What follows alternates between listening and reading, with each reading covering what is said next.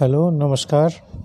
हम यहाँ बॉश का जो जी एस एच एलेवेनी जो हैमरिंग मशीन होता है या ब्रेकर मशीन है, उसका हम अनबॉक्सिंग करेंगे। ये ऑनलाइन से ख़रीदा हुआ नहीं है, ये बॉश का ऑथराइज डीलर के पास से ख़रीदा हुआ मशीन है।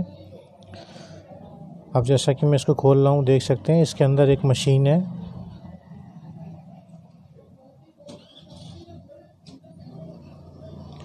साथ में यूज़र मैनुअल है। ये वारंटी कार्ड है। इसमें ग्रीस भी दिया हुआ है, जो कि चीजल के पीछे लगा के हम मशीन में फिट कर सकते हैं। ये एक टिश्यू दिया हुआ है, क्लॉथ, जिससे आप क्लीन कर सकते हैं मशीन को और चीजल्स के पॉइंट को। यूज़ के बाद और यूज़ से पहले। ये इसके साथ एक बॉस की सेल्फ शार्पनिंग चीजल दी हुई है, जो कि क्वालिटी में बहुत अच्छी होती है। और ये सेल्फ शार्पनिंग इसलिए है कि इसका धार सेम बना हुआ रहता है यूज़ के दौरान, यानी आपको धार नहीं लगाना पड़ता है। जब भी आप यूज़ करते हैं तो इसकी परफॉर्मेंस बहुत ज़्यादा बढ़ जाती है। इसकी ब्रेकिंग कैपेसिटी भी बहुत बढ़ जाती है।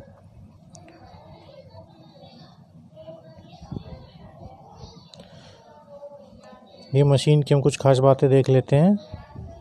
ये इसका हैंडल है, जो आप अपनी सुविधा के अनुसार किसी भी एंगल पे टाइट कर सकते हैं।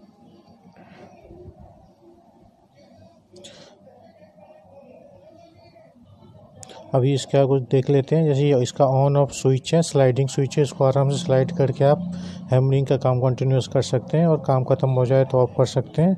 यहाँ पे इसका हैमरिंग रेगुलेटर है लो करने पे धीरे धीरे हैमरिंग करेगा और हाई पे रखेंगे तो बहुत तेज़ हैमरिंग करेगा। तो हैमरिंग इम्पैक्ट बढ़ जाता है। और इसके नीचे एक सर्विस बटन दिया हुआ है।